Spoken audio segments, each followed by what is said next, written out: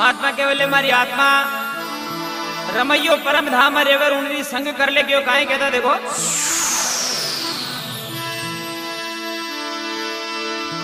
अरे रे वे रमैयो परम धाम मेरी हेली, धाम में हो।